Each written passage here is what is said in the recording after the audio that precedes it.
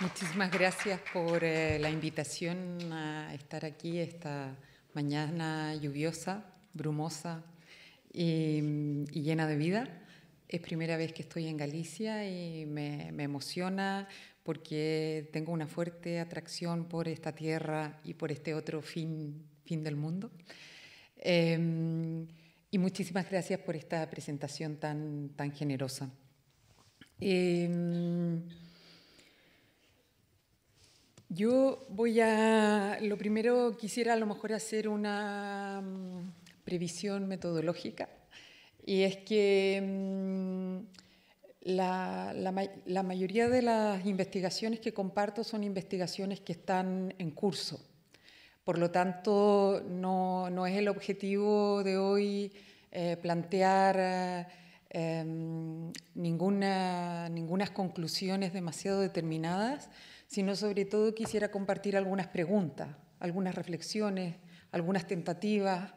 Eh, puedo argumentar la aproximación y cuál es el, el, posicionamiento que, hago, porque como sabemos, el pensamiento es situado, es siempre un cuerpo el que piensa, como decía Michel Foucault, eh, y, y, creo que es importante ser honestos en esto y no como que si las ideas o las reflexiones estuvieran descarnadas. Em, y también tiene un compromiso, en mi caso, político, en el sentido amplio de la palabra, en el sentido de pensar cuáles los modos de darse y de ser en común, eh, que, exigen pensar nuestro presente. Yo creo que, como decía Gramsci, eh, necesitamos cierto optimismo porque el pesimismo es para tiempos mejores. Em, bien, eh, entonces eh, quería comenzar situando brevemente, para no suponer que, nadie tendría por qué necesariamente conocer los trabajos o las reflexiones que he desarrollado previamente. Entonces eh, voy a intentar esbozar un, paisaje y decir en ese paisaje de pensamiento dónde se sitúan estas reflexiones y a partir de ahí poder hacer la elaboración eh, del argumento de lo que presentaré el día, el día de hoy. Em, diría que en esta atmósfera cultural en el que mirar parece que es una suerte de enfermedad, de, dolencia, un mal que nos ataca y que nos devora.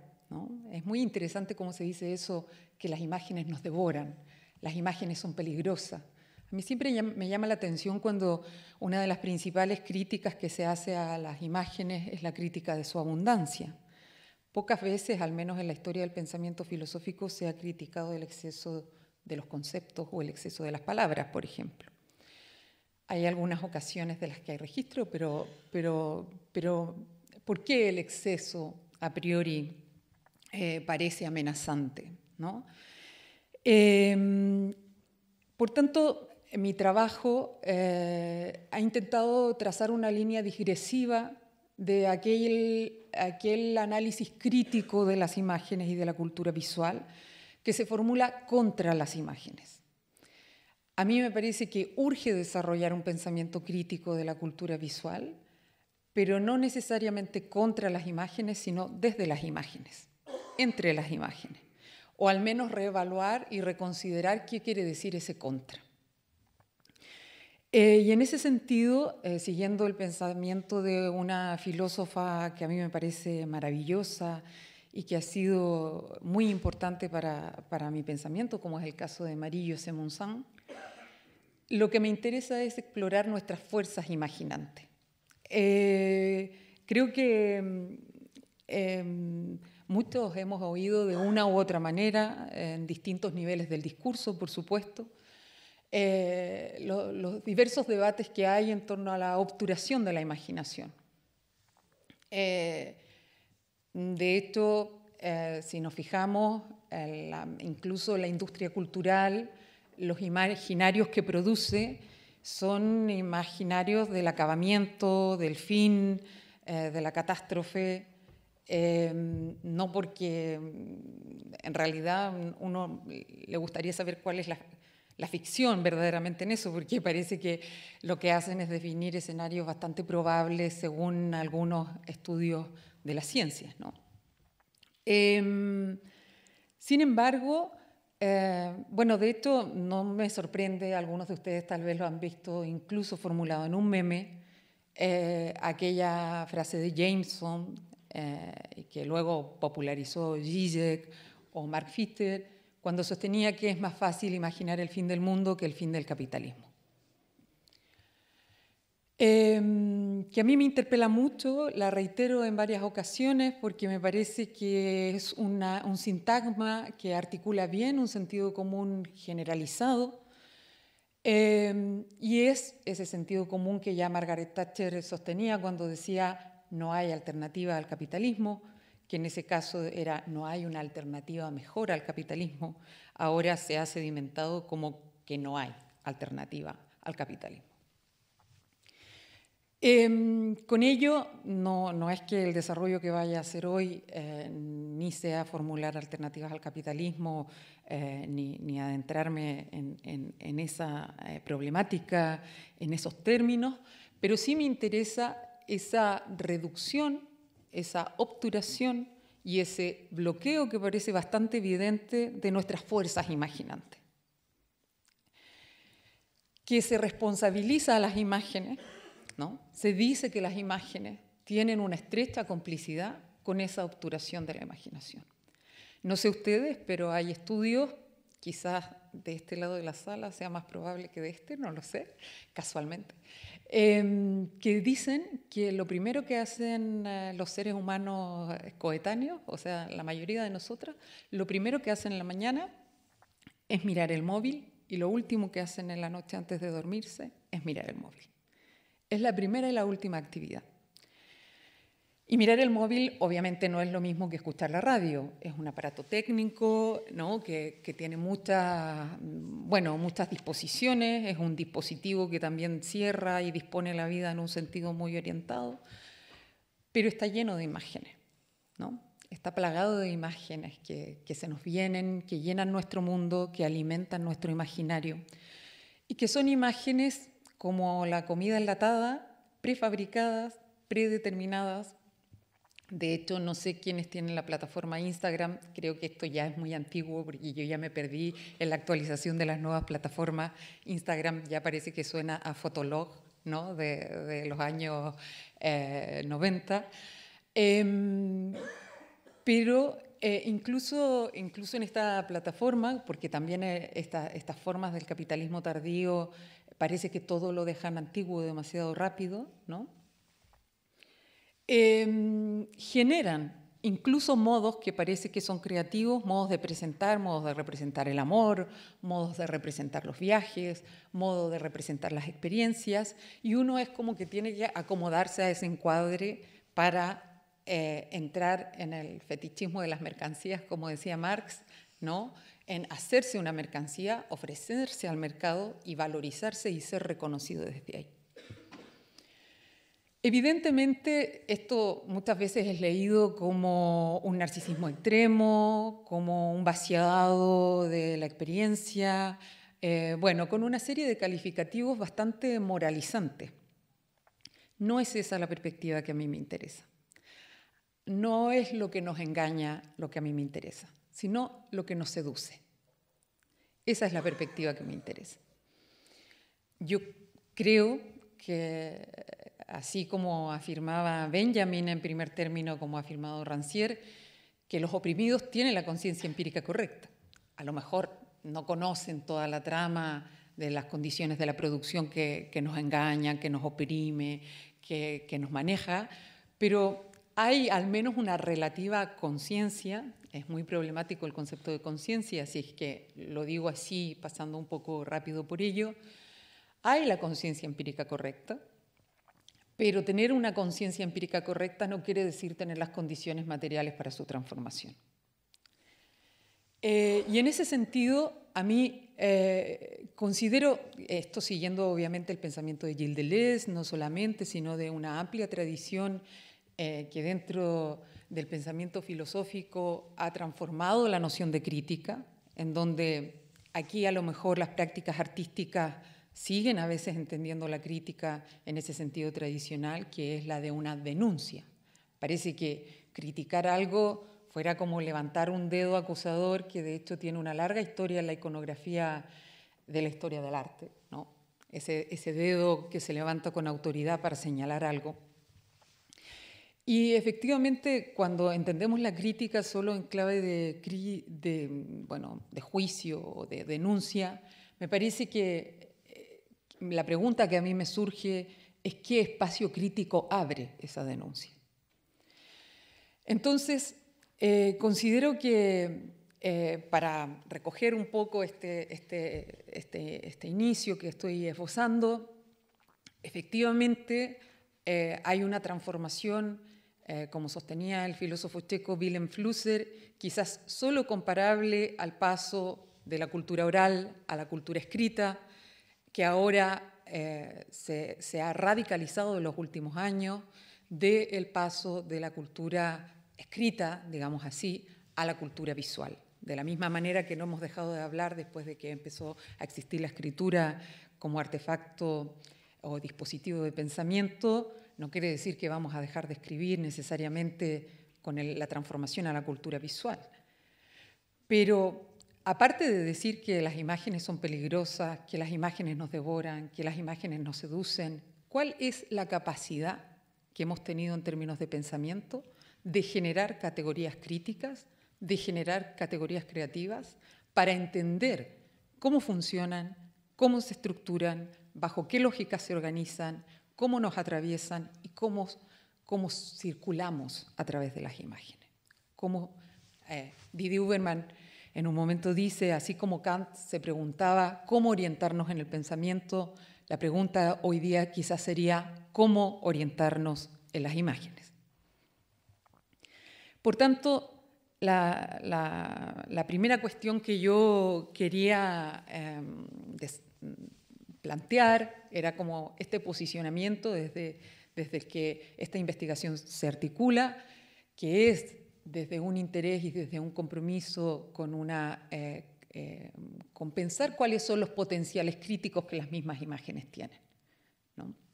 Y aquí a lo mejor sigo una herencia amplia que tiene que ver con, con, mi influencia de los pensadores y pensadoras de la técnica, que no han insistido en afirmar que todo, todo dispositivo siempre tiene un margen de indeterminación. No, no. Ya lo decía Platón con la idea del fármaco, de la farmacia. Toda farmaquea puede liberar sus procesos de, cura o de toxicidad. Diríamos que las imágenes parece que solo han desarrollado sus procesos de toxicidad no en el sentido de patología, yo no quisiera patologizar ningún movimiento cultural ni social, sino en términos de liberar no sus funciones curativas, sino aquellas funciones que cierran, que capturan, que, eh, que precisamente no nos permiten eh, abrir herramientas para orientarnos en nuestra realidad. Y por eso es que eh, afirmaba que en el régimen de visibilidad del desarrollo capitalista de las imágenes, sobre todo de la industria cultural, han contribuido a habituar nuestros cuerpos y nuestra mirada a una disponibilidad bien específica. Em, y diría que, que no por eso no podemos generar inervaciones creativas. Eh, el concepto de inervación es un concepto ampliamente trabajado por Walter Benjamin, eh, que a mí me parece que sigue siendo muy fecundo eh, y que mm, haciendo bastantes reducciones de los desarrollos que hacía Benjamin, podemos decir que, que tiene que ver con todos los procesos de adaptación ¿no? en que para que nos ponen los modos de producción. Nuestro cuerpo necesita, antes de poner a circular las mercancías, se necesitan crear nuestro cuerpo necesita adaptarse a esa circulación de mercancías, ¿no? Subir por las escaleras mecánicas, los ascensores, eh, la velocidad de, las carreteras de circulación, eh, y a partir de ahí entonces nos ponemos también nosotros en una circulación eh, mundial. Em, pero eh, paradójicamente, yo creo que una de las mayores dificultades que tenemos para desarrollar un pensamiento crítico de la cultura visual es que las sospechas ante su abundancia em, y los peligros de sus excesos nos han hecho desconfiar tanto de las imágenes que nos hemos quedado sin herramientas para explorar sus potencias, sus intervalos, sus capacidades para unir diferencias, ese doble juego que siempre opera entre su analogía y su desemejanza. Y por eso que en ese trabajo con los restos, con esas fuerzas formadoras, es donde yo creo que puede eh, potencialmente surgir algo distinto de lo que cabe esperar en el eco de nuestra propia mirada. Ese algo más, diríamos, esa suerte de reserva, esa latencia eh, eh, que habita en las imágenes mismas, es la que yo creo que tiene una capacidad particular para acoger la multiplicidad del mundo y que por eso no es casual que, que nos llamen a la, no sé, es muy difícil eh, quitar los ojos de una imagen que nos ha mirado, como, como dice Didi Uberman em, en aquel libro de Lo que vemos, lo que nos mira. Eh, pero ya lo decía antes Machado de otra manera también, ¿no? Y en ese sentido, em, yo diría que, eh, tal como afirmaba eh, Cornelius Castoriadi cuando decía que la sociedad no es el proceso irrevocable y determinado de unas condiciones que están allí para siempre, sino que es una constante reinvención de sí misma, creo que hay una fuerte necesidad de romper con la tradición determinista del pensamiento, y, tratar de, desanclar eh, sugerencias del régimen de representación, aunque a pesar de todos los desplazamientos epistémicos que han acontecido desde el siglo XX en adelante, eh, muchas veces seguimos siendo profundamente representativos, no porque no se... Yo, soy de aquellas personas que piensa que hay que seguir haciendo representaciones, que es necesario disputar las prácticas de representación, pero cuando digo que somos profundamente representativos, me refiero a la lógica de la representación que opera con un orden de estrategia a partir de un vínculo entre eh, causas y efectos, efectos esperados. Y en ese sentido, yo pienso que esta potencia crítica que pueden tener las imágenes, no digo que la tengan, creo que hay que explorarla, que es una cuestión a desarrollar, a trabajar, que necesitamos ejercitar nuestro cuerpo, para desfigurar esos gestos en los que hemos sido habituados. Diría que esa capacidad no reside tanto en eh, representar la realidad que existe, sino sobre todo en alterar esos órdenes, introducir otros modos de existencia, introducir esas imágenes, que inexisten. Eh, contrario a la tesis del exceso de las imágenes, yo creo que tenemos muy pocas imágenes. Lo que hay es un exceso y una abundancia de las mismas imágenes, de imágenes que se repiten hasta la saciedad eh, y que la saturación en cualquier caso viene del exceso de esa, de esa repetición, en donde cada vez más, lamentablemente, esa repetición no produce diferencia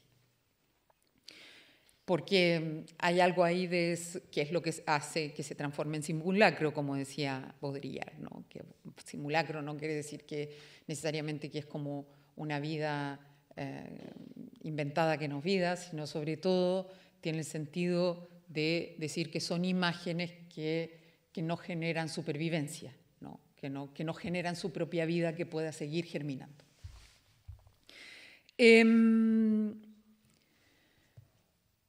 Evidentemente, eh, tal como, como, Paula situaba, ¿no? hay una tradición amplia de estos estudios en torno a las imágenes que viene al menos de principios de los años 90 y que se da en contextos muy distintos como el anglosajón, el contexto del pensamiento de la antropología de la imagen en, en Alemania, sobre todo en, Europa y también en Latinoamérica, con contribuciones muy importantes como las voces de Silvia Rivera Cusicanqui, Sueli Rolnik, Beatriz Sarlo, Blanca Muratorio, Martín Barbero, Arlindo Machado, Néstor García Canclini, Ticio Escobar, Joaquín Barriendo, entre muchos otros que además nos enseñan de otros sentidos de las imágenes, en donde las imágenes no solo son una situación en vínculo con la palabra, con el sentido y con el significado, sino también con la danza, con el canto, con, los ruidos, eh, y que está muy vinculado eh, precisamente a, eso que quizás nuestra época eh, intenta, su mayor opacidad sea el exceso de luz, como decía Pasolini. ¿no? borrar todo espacio de opacidad en donde pueda crecer algo, algo diferente. Em, y en este sentido es donde eh, consideraba que eh, ante esta evidente crisis destructiva en la que nos encontramos, eh, la cuestión sería mm, preguntarnos, como decía Lyotard, cómo poder elaborar o configurar otra economía libidinal. O sea, insistiría en esto que mencionaba al principio, no tanto una dimensión eh, moralista de la crítica, sino que genere otros deseos. Unas imágenes que no sean solo para consumir, que no sean solo para, para eh, mantenernos en los repartos de lo sensible, tomando el concepto de Rancière, en los que hemos sido distribuidos, sino que nos permitan alterar nuestra comunidad, generar nuestras propias imágenes. Y ahí me parece que hay algo de una capacidad que tienen las prácticas artísticas, no solo, pero las prácticas artísticas tienen eh, una capacidad particular que tiene que ver con, algo que contradice eh, eh, uno de los principios fundamentales del capitalismo, que es la funcionalidad de nuestros gestos, o, esto de, la, modernización de la sociedad, de, la arquitectura de, las ciudades, la mayoría está desarrollada para que seamos más eficientes, ¿no? para ir eh, lo más rápido posible entre un punto y otro, para no perder tiempo, eh, para, para, no tocarnos en la calle, no, no, todo está pensado para que los cuerpos no, no se choquen idealmente, eh, la pérdida de los espacios públicos. Y hay algo de, yo quería proponer esta imagen que es un, díptico, que es una contraposición, em, que en realidad es un gesto que a lo mejor nos puede permitir hablar de ello, em, que uno es un brevísimo frame de la película de Belatar de 1979, Nido Familiar, y la otra es una imagen de una performance que no sé si conocen, pero probablemente sí, de Mona Hatum en 1985 eh, en las afueras de, Londres. Em,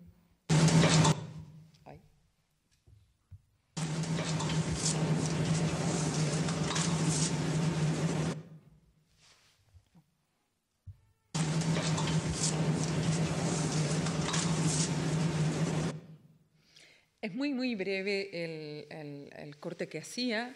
Eh, si han visto la película, evidentemente toma otros sentidos y, adopta otra consistencia, pero me interesaba contraponer este frame porque hoy día cuando se habla de que del trabajo postfordista, de que ya obviamente no eh, el, el, trabajo predominante no es que haya dejado de existir fábricas, evidentemente, eh, pero el trabajo predominante, o al menos se ha transformado en las nuevas formas de trabajo, parece que nuestros gestos ya no fueran, en nuestros cuerpos no estuvieran siendo eh, eh, docilizados, como diría Michel Foucault, por nuestras formas de producción, ¿no? como, como sabemos lo que producimos nos produce.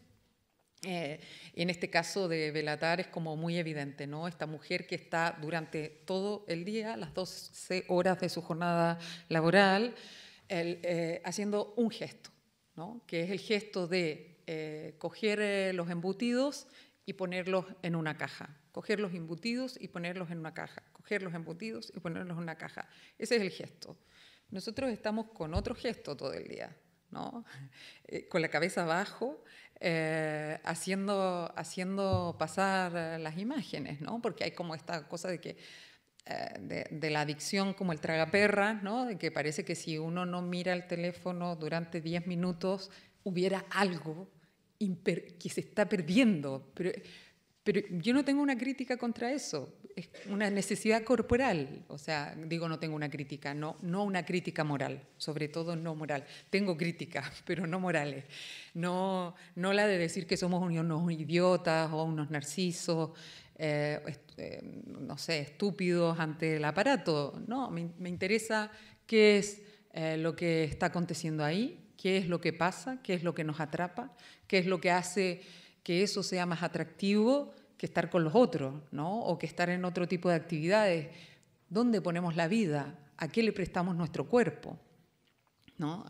así como, ¿cuáles son nuestras noches? Los proletarios parece que tenían muy claro cuáles eran sus noches en el 1800 y cuáles eran sus días.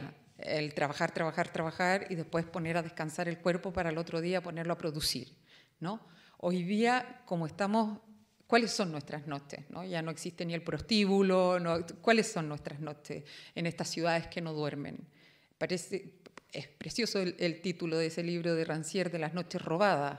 ¿Cuáles son nuestras noches robadas?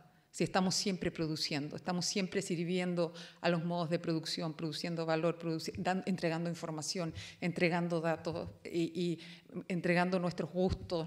estamos todo el tiempo eh, sin, sin, dormir, ¿no? como decía Jonathan Crary, 24/7, prestando nuestro cuerpo a la producción del, del capital.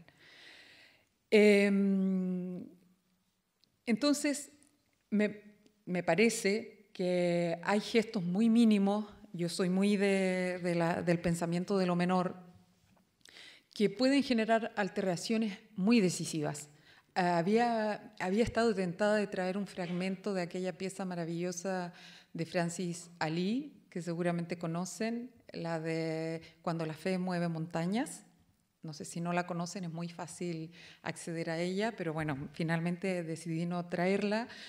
Eh, pero la acción consiste básicamente en que él reúne a 200 eh, estudiantes, pero ninguno es un estudiante de arte en Perú, y les convoca eh, a una montaña y con una pala y el objetivo es mover 5 eh, centímetros una montaña.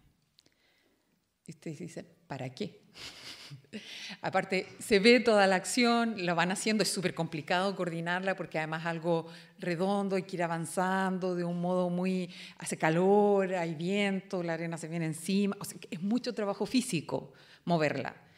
Después acaba la acción, están muy emocionados y uno se pregunta si la montaña se movió, ¿no?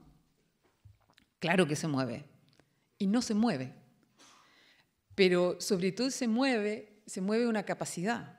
Se mueve eh, además eh, la creación de una, de una comunidad de sentido que se ha generado en ese encuentro se, mueve la capacidad de indeterminación que generan los cuerpos cuando se encuentran. ¿Qué es lo que se mueve aquí en contraposición a ese otro gesto de, esa producción cuando Mona Hatum, ustedes me pueden decir, Andrea, em, primero que esto sea considerado una obra de arte, sacarse los zapatos, eh, amarrarse los cordones en los tobillos y ir caminando por los alrededores, podríamos discutirlo, por supuesto. Y también me pueden decir, no puede ser tan ingenua de pensar que con acciones como esa vamos a destruir el capitalismo. Eh, y es muy interesante eh, cómo se sedimenta esa creencia. ¿Por qué? Si somos nosotras las que le prestamos nuestro cuerpo performativamente a la producción de ese modo de sensibilidad, de ese modo de, creación de sentido, eh, ¿no? Eh, ¿Qué es lo que, qué le pasa a nuestro cuerpo cuando se desregulariza en el gesto? ¿Qué le pasa a nuestra imaginación cuando se ve desafiada a tener que orientarse de un modo diferente en un camino que no está hecho, que no está determinado y que no está configurado. Y diría que esta capacidad de jugar, en cierto sentido, que como sabemos en la, estética y en la creación artística ha sido muy importante, parece que cada vez la perdemos a más temprana edad. Eh, a, mí me parece desolador cuando veo en el metro a, padres con criaturas que no tienen ni seis meses y con tal de que no molesten llorando, los enchufan a un teléfono. No, tampoco quiero criticar porque no conozco la vida de esas personas y de, lo, de, todo lo que hay detrás, ¿no? pero ni la capacidad, después dice, pero tú no, no sabes aburrir. ¿Cómo saber aburrirse si no lo has dejado nunca aburrirse? ¿no? O sea, desde que nació estás haciendo cosas para entretenerlo y mantenerlo en una actividad. Es cuando uno se aburre, cuando empiezan a pasar una de las cosas más interesantes, cómo, cómo se desarrolla, cómo se ejercita nuestra capacidad de aburrimiento. Em, entonces me parece que hay aquí un, vínculo estrecho que yo me, he visto tentada a pensar que hay una, una, relación en esta, cuando pienso en la fuerza formadora de las imágenes, tiene que ver con esa capacidad que las imágenes tienen de generar una realidad, de generar una creencia, de generar realidades que son específicas, no es lo otro, no es la representación, no es el lugar de lo imaginario como algo que está separado de la real, sino que genera realidad. Las imágenes generan consistencia a la realidad, le dan, eh, le dan una forma, eh, inciden en las transformaciones. Y si pensamos en esa fuerza formadora, más bien la palabra de fuerza debiera ser revisitada aquí filosóficamente de un modo serio, pero creo que quizás no es, no este el contexto para, hacerlo, pero sí eh, pensar en, cómo ampliar, diríamos, esas fases formativas, esa gesta de esas otras imágenes que puedan crecer y que puedan eh, articular esta, esta economía eh, libidinal. ¿Me siguen?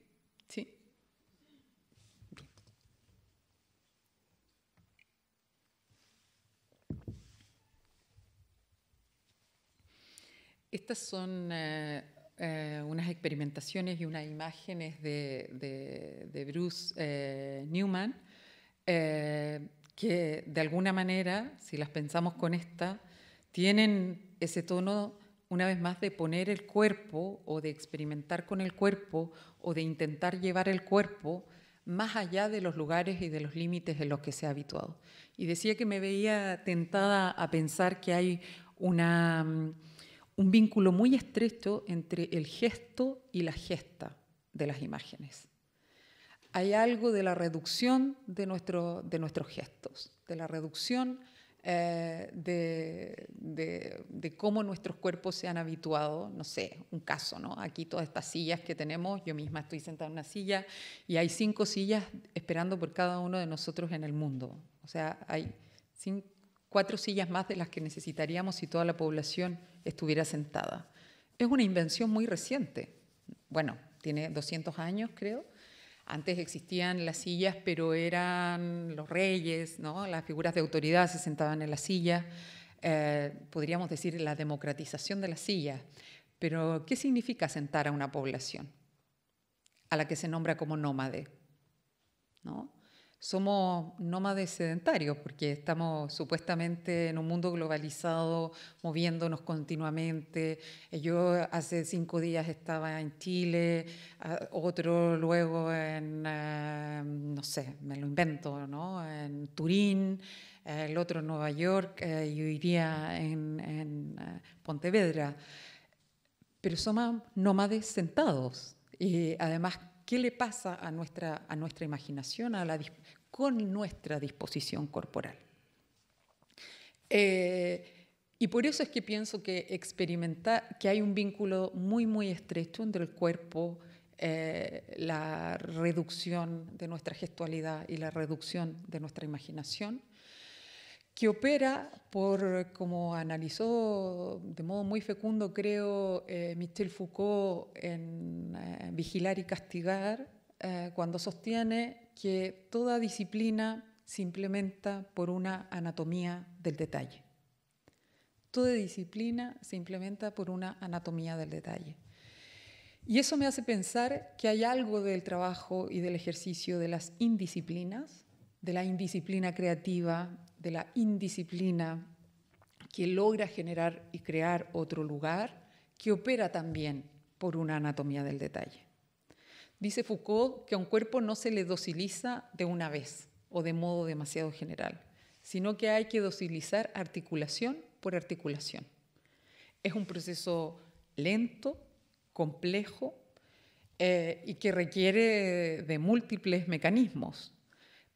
Eh, y decía eso porque tal vez, y por eso atendía a estos, pequeños gestos, tal vez, propongo como hipótesis que podemos discutir, hay algo de ese trabajo de desregularización de los gestos pequeños, incluso de, probar y de sentir, de jugar, qué le pasa a nuestro cuerpo cuando eh, hacemos, eh, lo ponemos en contacto con las superficies que normalmente atravesamos rápidamente, qué pasa en ese contacto, qué pasa en esa, en esa, cómo cambia la perspectiva, cómo cambia la visión y cómo cambian los sueños. Em, y eso a veces decía que pasa por operaciones muy menores. Estas son dos imágenes de una película que me parece maravillosa de la directora argentina Lucrecia Martel, La Ciénaga, que es esta película del año 2001. Y me parece muy interesante cómo a través de dos mecanismos muy, muy pequeños, eh, muy menores, eh, Lucrecia Martel altera un punto de vista, altera una manera de hacer cine y altera e introduce una manera de interrogar la imagen que está presentando. Y uno de ellos es tan sencillo como bajar el trípode a un metro cuarenta para que los objetos y las imágenes se vean a esta altura que las estamos viendo aquí. Y el otro, para quien ha, visto la película seguramente le será más evidente, el anticipar unos segundos el sonido a la imagen. Suena un disparo en algún lugar, o suena una silla que se arrastra y luego aparece la silla, o luego no aparece el objeto.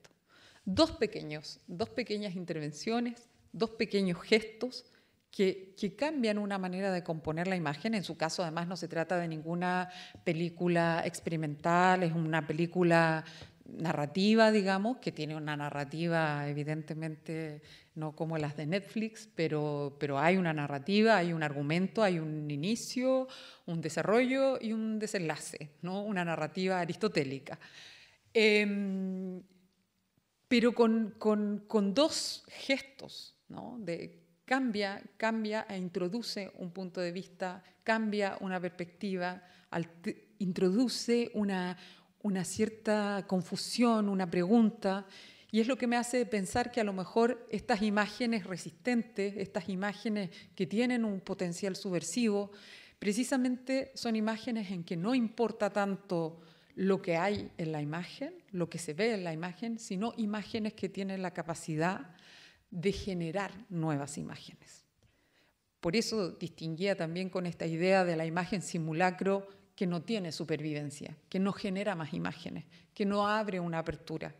En cambio, las imágenes resistentes, que por eso algunas imágenes eh, del arte tienen esa capacidad, no solo, también hay otras imágenes a lo mejor que se consideran más bastardas o que circulan en, otra, en, otra, en, otro, en, otro, en otros ámbitos, diríamos, eh, tienen ese, ese potencial de abrir eh, de hecho, a veces uno va al cine y mm, Rancière siempre cuenta una anécdota eh, de una película, de un frame del que él habló por durante, no sé, como 15 años, siempre hablaba de ese frame. Y una vez que quería volver a hablar de él, pero había una precisión que se olvidaba, volvió a ver la película. Y, esa imagen no existía en la película. Era una imagen que él había generado a partir de la película que había visto. Muchos cineastas dicen que de hecho la película empieza cuando uno se va, se va del cine, ¿no? con las imágenes que es capaz de generar a partir de esas imágenes que vio. E, entonces ahí sí que hay una riqueza imaginativa, hay una riqueza de la fuerza imaginal, hay una riqueza de un modo de intervenir el mundo. Eh, contrario, diríamos, a las imágenes de la industria, que más que construir o articular miradas, lo que hacen es dirigir a consumir productos. Eh, pero no hay que desestimar este lugar que tiene las imágenes, porque muchas veces se ha considerado que es la palabra, es la narración, es el discurso el que teje y articula el sujeto, pero lo cierto es que no hay sujeto sin imagen, ¿no? Como lo analizó, yo creo, de manera habría que revisitar luego del surgimiento expansivo de la cultura visual aquello que decía Lacan en el Estadio del Espejo sobre ese momento de formación, de autoconciencia que se dan antes de la, incluso de la relación eh, amplia con el lenguaje, con la palabra, sino en ese momento del espejo en que tiene la imagen y se reconoce como otro de eh, la persona que, que le cuida. El que no haya sujeto sin imagen nos pone en una condición especialmente vulnerable, y aquí Marillo S. Monsanto tiene un texto maravilloso que se llama, es una entrevista que se titula eh, Imagen, Sujeto y Poder, en donde analiza cómo eh, llama mucho la atención ver en, en, casos de poblaciones periféricas cómo los y las jóvenes eh, muchas veces que tienen condiciones económicas paupérrimas, incluso condiciones vitales y de alimentaciones básicas, les interesa mucho consumir eh, ropa de marca o zapatillas de marca. ¿no? Nike, Lacoste, ya no hablo de marcas de lujo, pero de alguna marca. Y el análisis de ella me parece muy interesante porque no es como, ay, que son unos banales, superficiales, sino que dice, es que como nos construimos a través de la imagen, cuando no somos capaces de generar una imagen propia, necesitamos ser reconocidos por una imagen que ha sido producida socialmente. A mí, mm, yo creo que estuve, mm, me dolió leer esto. Y es como, es tan estructural esa violencia del capitalismo tardío que efectivamente muchos de, nosotros, muchos de nuestros jóvenes construimos nuestra imagen, como no, ante, hemos sido expropiados de nuestra propia creatividad. Parece paradójico afirmar el derecho a la imagen cuando vivimos en una sociedad supuestamente de un exceso de imágenes. Pero yo, creo que tenemos la necesidad de recuperar o de tener eh, la posibilidad de desarrollar nuestra propia creatividad una imagen propia, una imagen de nosotros que no sea necesariamente adherirnos a esa, a esa imagen eh, que, circula en, un, determinado eh, contexto de, producción de, identidades y de, de, mercancía. Por eso, em, cuando, cuando en la performatividad de las imágenes eh, ese ensayo, eh, de alguna manera, eh, lo escribí porque creía que necesitaba ubicar un, posicionamiento.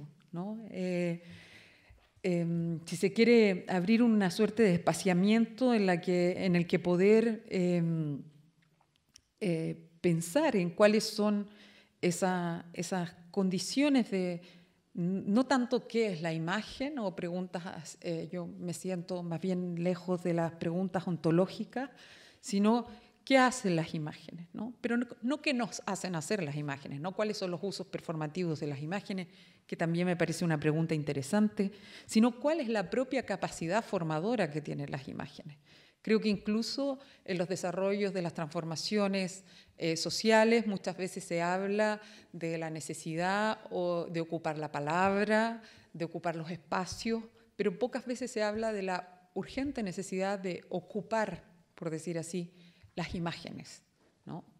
y aquí me pareció muy interesante, no sé si siguieron de alguna manera el gran movimiento insurgente. Eh, que anidaba tantas promesas en el año 2019 y 2020 de las revueltas en Chile. Y fue muy interesante porque una de las primeras cosas que acontecieron fue la toma de la imagen, de producir de una, explosión, diríamos, de una creatividad que no tenía nada que ver con las superficies eh, imagéticas que desarrollan los medios culturales hegemónicos. Y aquí quería introducir una cuestión que suele ser polémica, porque sobre todo en la filosofía o en ciertas tradiciones filosóficas, eh, que muchas veces se responsabiliza Platón. Yo creo que en esto Platón tiene, bueno, el Platón que la filosofía ha instaurado, diríamos, ¿no? porque hay muchos Platones, el Platón del Tetos o de León no es el mismo Platón del libro séptimo de la República, em, o el del Fedón, o el de Lipias. Entonces, em, diría que hay algo ahí de esa, de esa mm, creatividad, de esa, de, esa, de esa fuerza que tienen las superficies, que tienen las apariencias, que yo he intentado articular una reivindicación de las apariencias. Ya Louis Deot decía que siempre nuestros modos de aparecer, nuestros modos de ser son indisociables. Ah, tenemos una cosmética, ¿no? Cada una de nosotros decidió, no sé si frente al espejo o no, hoy día cómo se presentaba ante los otros. De hecho, no tenemos una imagen casi nunca de nosotros. Por eso nos importa tanto la imagen que los otros, la imagen que los otros tienen de nosotros, porque casi nunca tenemos una imagen propia. Em, pero nos preparamos para ser vistos, nos preparamos para aparecer. El aparecer no es una cosa menor, es una cosa muy importante. Por eso Nietzsche decía que los griegos eran profundos porque eran superficiales, ¿no? o lo que planteaba Paul Valery cuando decía que lo más profundo que tenemos es la piel. A mí lo que me interesa es cómo generar otras superficies, cómo se transforman esas superficies de conversión y por eso decía cómo generar otra economía libidinal, cómo se generan otras economías de deseo, de de unas imágenes que sean porosas, que no sean estas imágenes lisas que, por las que nos deslizamos. Y ahí hay una pregunta que, que hacen Susan Sontag en este libro que se titula Contra la Interpretación, que tiene un capítulo también que lleva el mismo nombre de 1964, cuando en realidad la pregunta ella la refiere al arte y dice em, que quizás en vez de una hermenéutica del arte necesitamos una erótica del arte. Y yo pensaba que quizás en vez de una hermenéutica de las imágenes, porque la semiótica, la mayoría de los análisis críticos de las imágenes, lo que han intentado es una cosa que parece una aberración, que es leer las imágenes, o tratar a las imágenes como códigos. Em, que no digo yo que eso esté, que sea correcto o incorrecto, eh, pero sí que me parecía muy interesante, si acaso se les lee, leerlas como decía Benjamin, la lectura antes de la escritura, como, como se leían las cacas de los animales, como se leían las estrellas, como se leían las constelaciones, o sea, como figuras de orientación. Em, y cuando, cuando leí esto de Susan Sontag, es una sentencia que, que, me, que me resultó muy enigmática y que me sigue interpelando. Eh, pero cuando la pienso en relación a las imágenes y digo, quizás no necesitamos tanto una hermenéutica de las imágenes, sino una erótica de las imágenes. Porque precisamente, evidentemente, para Sontag se ubica en un contexto de una crítica a la primacía del contenido, eh, como separado de la forma, a, la que soy muy sensible. Em, pero me parece que justamente hay algo de esa dimensión de la erótica que lo que hace es empujar, empujar dándose forma en ese, en ese empuje.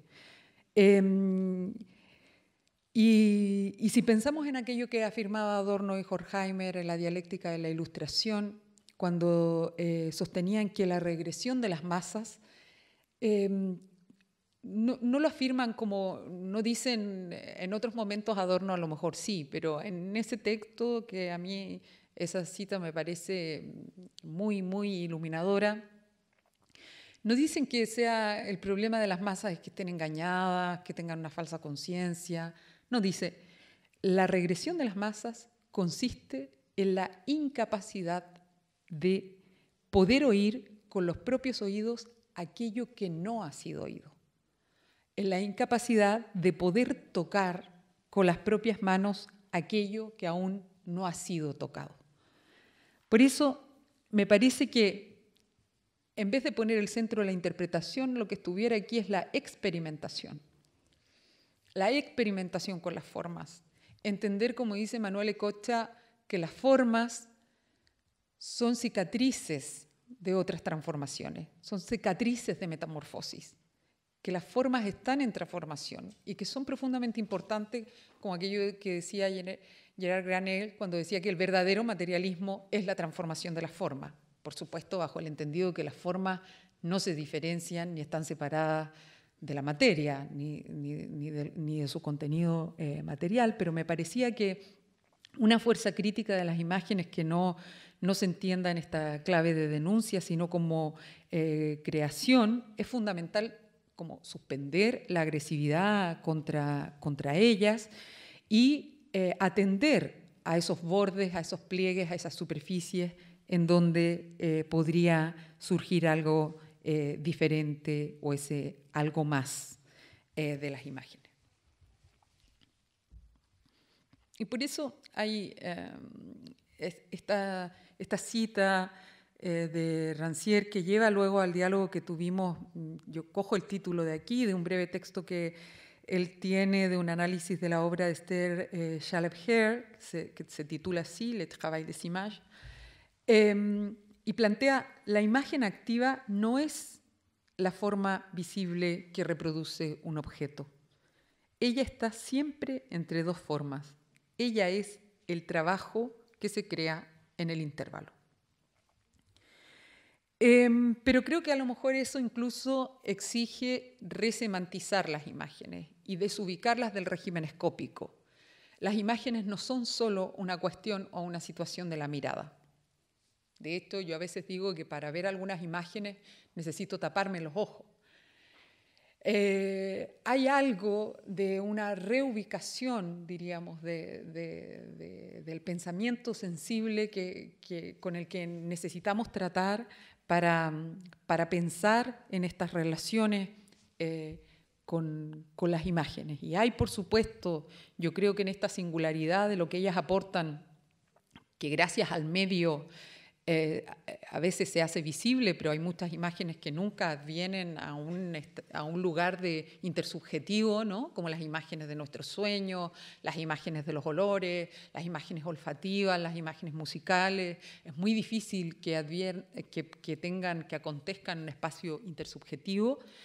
Y, y, en este texto tan conocido de Walter Benjamin del origen de la obra de arte en la era de su reproductibilidad técnica, Em, me parece fascinante cuando Benjamin dice que, bueno, que es más o menos común que uno se dé cuenta de cómo camina la gente. De hecho, a veces reconocemos a alguien en la calle por cómo le vemos eh, andar, eh, que nos resulta más o menos eh, familiar el gesto que hacemos al coger un encendedor, la cuchara, pero que casi no sabemos nada o apenas sí sabemos algo de lo que ocurre entre la mano y el metal, cuanto menos de sus oscilaciones según los diversos estados de ánimo en que nos encontramos.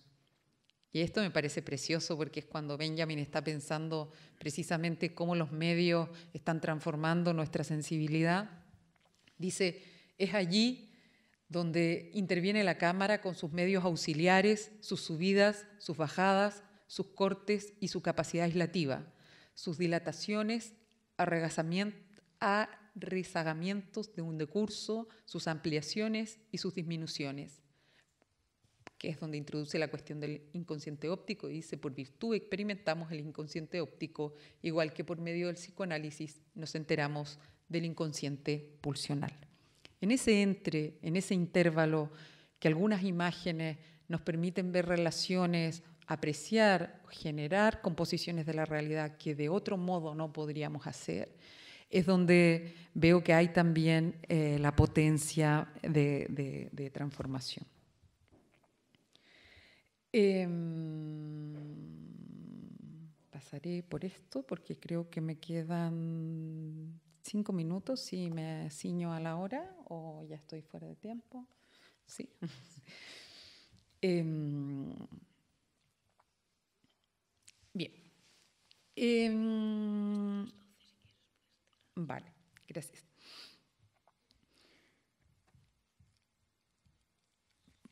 Quisiera solamente mm, decir una última cuestión en relación a la fuerza, eh, a la fuerza de las imágenes, porque no, no, se trata para mí de una potencia capitalista, sino de una potencia bastante herida.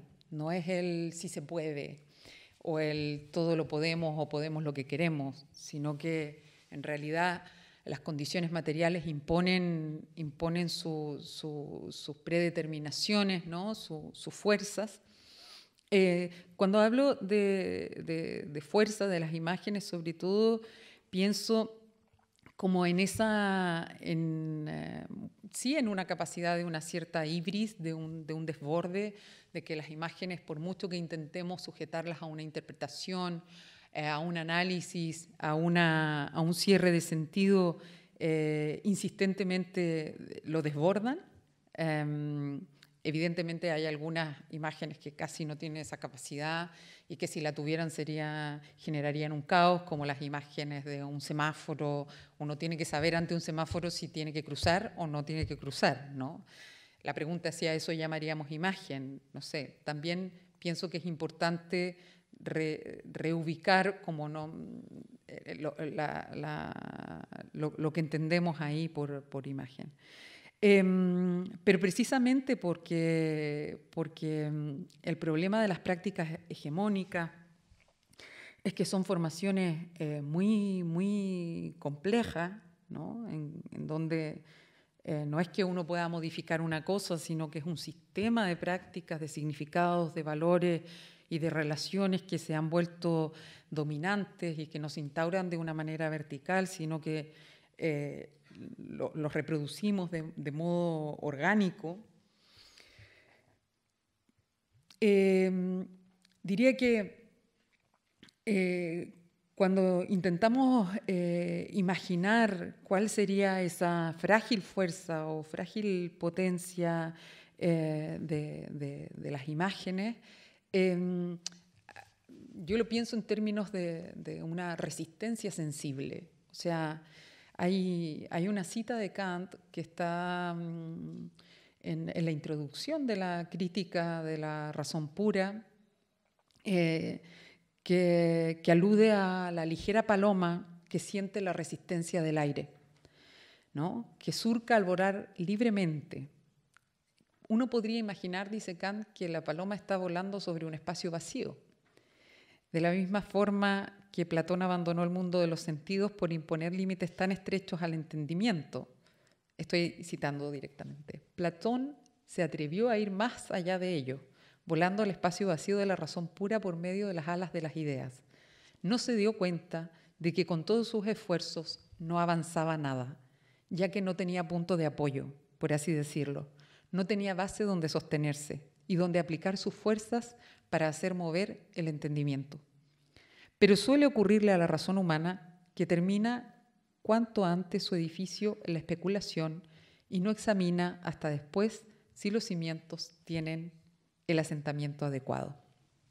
Por supuesto, no propongo encontrar eh, una raíz kantiana de la resistencia eh, aquí para analizar los sentidos en que las imágenes pueden resistir materialmente a las formas que se les imponen pero sí considero que esta referencia es importante para sacudir en cierta medida un término cuya fuerza material parece haber sido olvidada, que es la, potencia y la fuerza de la resistencia de lo sensible. Realidad que no pertenece a ninguna ontología exterior en donde residan las fuerzas, sino que opera performativamente colaborando con las formas que contribuye a formar. Por eso eh, me parece muy interesante esa ambivalencia que tiene el término de resistencia, porque no implica necesariamente una fuerza activa, eh, sino eh, tampoco demasiado pendiente de las actividades del poder, como quizá en Foucault sí, sí que lo está, em, sino que se da en una categoría que pide complejizar la noción de resistencia, resistir es mantenerse en una brecha, es mantenerse en un intersticio.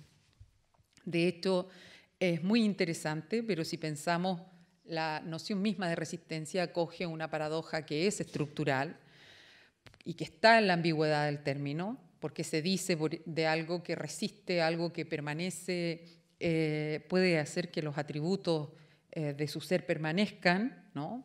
algo que puede mantenerse en sus propiedades, que se sostiene en su consistencia y no se deja eh, afectar por los efectos que, se le precipitan. ¿no? Se dice de una casa que es resistente. Yo cuando llegué pregunté si aquí había temblores. Me dijeron, no, de todas maneras estamos en un edificio resistente. ¿no? Quiere decir que, lo que se mueva, eh, esto se sostiene en sus propias propiedades. Pero es muy interesante porque también se entiende eh, como resistencia el poder de lo que se sale de sí, el poder de eh, lo que se sale de sí para intervenir y para cambiar el orden que define sus propiedades. Em, y me parece que hay algo que no se trata de un equívoco del lenguaje y que es en este sentido que estaba planteando cierta fuerza de las imágenes para hacer resistencia, no de todas las imágenes, pero sí de muchas imágenes en su, capacidad de indeterminación, explorar ese margen de indeterminación para ver cómo esas imágenes pueden resistirse a ser engranadas en esa economía mundial de intercambio eh, de, visibilidad en el que nos pone la industria cultural y los regímenes de visibilidad eh, actual. Em, y quería compartir una, imagen, y aquí acabo, em, porque creo que así como estamos todo el tiempo haciendo imágenes, em, la mayoría de nosotros hace al menos una imagen una vez al día, aunque sea un pantallazo, ¿no? Eh, yo creo que la pregunta crítica no es cuántas imágenes tenemos, sino qué nos dejan ver esas imágenes. Em, y pienso que para liberar los procesos de cura de las imágenes es necesario tomar eh, lo que no se quiere mostrar, lo residual, lo rechazado. Em, Foucault decía, recuperando a Nietzsche, que, el trabajo de la genealogía, de hecho a lo mejor ni siquiera era tanto el trabajo con aquello que no había tenido lugar. Y es muy interesante porque pocas veces, algunas ocasiones ha pasado, pero pocas veces un filósofo le ha dado color a un concepto. Y Nietzsche lo hace con el concepto de la genealogía. Dice que la genealogía es gris. Eh, y habla en contraposición a la historia que es azul que es el celeste del cielo. Le da color a los conceptos, es precioso ese movimiento que hace, además de decir que eh, el pensamiento ya no tiene que ver con una cuestión de análisis, de, examinar, de síntesis, sino, dice, con algo para lo que hay que ser casi vaca, con rumiar. Y rumiar, como sabemos, no es solamente masticar muchas veces algo, sino hacerlo volver varias veces de las cavidades del estómago.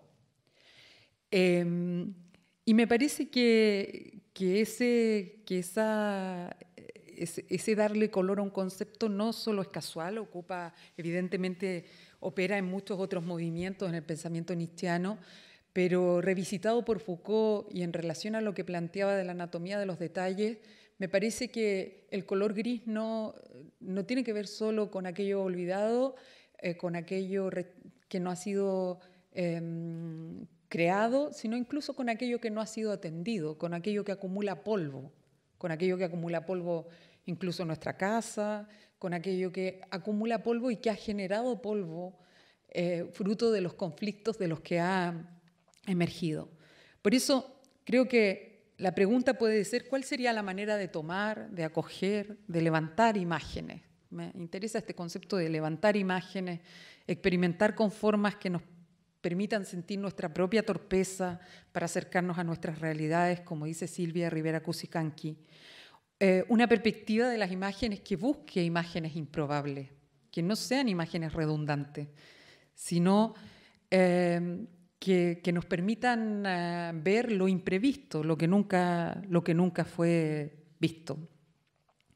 Em, y en ese ejercicio, eh, y porque he estado pensando el último tiempo en una cuestión que tiene que ver con suspender la imagen, eso es no necesariamente un ejercicio de poje fenomenológica, sino algo muy material como no anticipar la imagen, como eh, ver cómo se forman las situaciones, cuál es la realidad, cuál es la, cuál es la disposición que solicitan de nosotros ¿Y qué imagen requeriría esa realidad? ¿no? Es como también no anticipar los conceptos, no anticipa. A veces uno tiende a reaccionar, a intentar reaccionar demasiado rápido, sino poder demorarse. Y, y, cuando estaba pensando en esta cuestión de la suspensión o del derecho a nuestra propia creatividad, primero dejé de ver Netflix porque me di cuenta que antes yo en las noches lo que veía eran películas, leía, siempre leo poesía. Y el último tiempo no sabía cómo, de pronto me veía viendo ahí enganchadísima con las series de Netflix que hay algunas que son muy buenas y como dice Lucrecia Martel, el problema no es que sean buenas o malas, sino que están producidas desde el mismo punto de vista. Pero me di cuenta de cómo hay algo del imaginario que se iba obturando, de mi propio imaginario.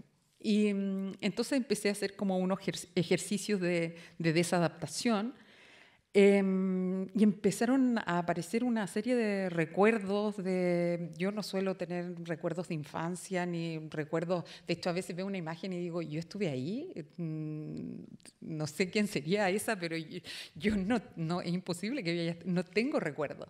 Y se empezaron a activar una serie de recuerdos y empezó a venir un recuerdo bastante recurrente, que era cuando yo tenía como 6 o 7 años y vivía entre un volcán muy furioso, que es el tercer volcán más grande del mundo, que es el volcán Yaima, y el lago Colico, que es donde tenían campo mis abuelos, y hubo un tiempo en que vivimos allí por razones familiares y yo me aburría como una ostra, muchísimo.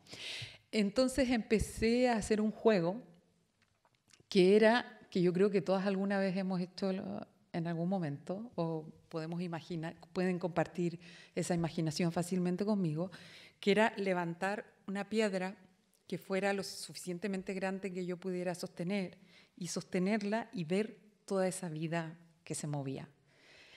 Lo que era, me ponía siempre en un problema, que era cómo devolver la piedra sin matar esa vida y cómo encajarla en su lugar, ¿no?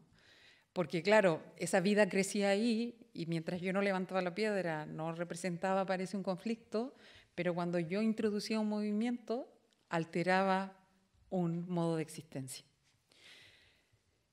Entonces estaba pensando en eso y yo cada vez que, bueno, lo había contado una vez y un día estaba, pero tenía como ganas de que, no solo tener mi imagen de eso, sino como compartir algo de esa imagen. Y estuve buscando mucho imagen.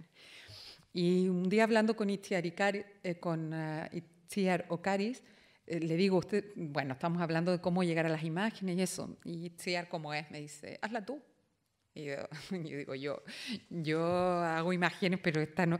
Y bueno, no sé, fue como me animó tanto y yo estaba pensando en esto, en el derecho a nuestra propia creatividad, en hacer tentativas de imágenes improbables y les quería compartir la imagen, que no es una imagen, es una tentativa, pero es una búsqueda, es como, eh, tiene que ver con el ejercicio. Ah, ¿La teníamos en silencio esta? Sí, porque me interesaba el gesto. Bueno, lo más triste es que no encontré ninguna piedra como la que yo estaba buscando y, no había ninguna vida abajo de las piedras que yo encontré. Eh, encontré solo esa. Pero mm, me parecía en ese momento, cuando iba poniendo la piedra, ahí hubo como un, mundo que me estalló de otras imágenes, de, qué es lo que pasaba en ese pequeño y mínimo eh, desencaje, qué es lo que se abría en ese gesto, y además cómo tenía que poner el cuerpo, cómo tenía que ir, eh, cómo, poner eh, la cámara y cómo, cómo poder relacionarme con, con esa memoria con ese recuerdo y, con esta tentativa de imagen. Em, y quería acabar aquí diciendo que precisamente alterar las funciones de las imágenes, como hemos aprendido de Foucault, el poder no es tanto una, una propiedad como una estrategia. El poder es relacional, no es un atributo, es una relación. Y el poder de las imágenes pienso, no se juega entonces, como suele decirse, en el poder de identificación, sino de disposiciones, maniobras, tácticas, técnicas y funcionamientos con los que éstas se desvían para abrir otros trayectos, una economía compleja de fuerzas, de los movimientos que nos agitan. Muchas gracias.